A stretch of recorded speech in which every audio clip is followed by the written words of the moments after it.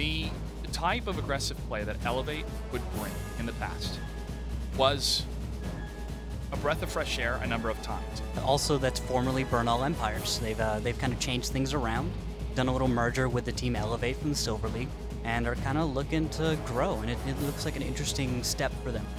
You took the game to the next level when you went on an international stage and Rumble in the West. I think Elevate was overly aggressive in this situation. And that is it. Simp is able to take it 5 to 2. I would say a new and improved team.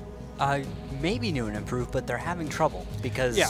Elevate is sitting here now at 0-2. I think that what Elevate's been trying to do strategically is not allow their opponent to ever be comfortable. No.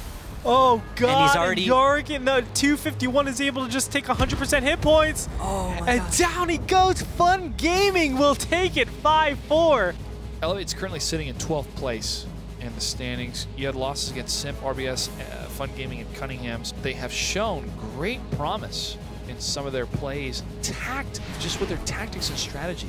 Victoria's Secret, who had a hell of a series against Elevate, now ready to fall as the remainder of Elevate's push it in.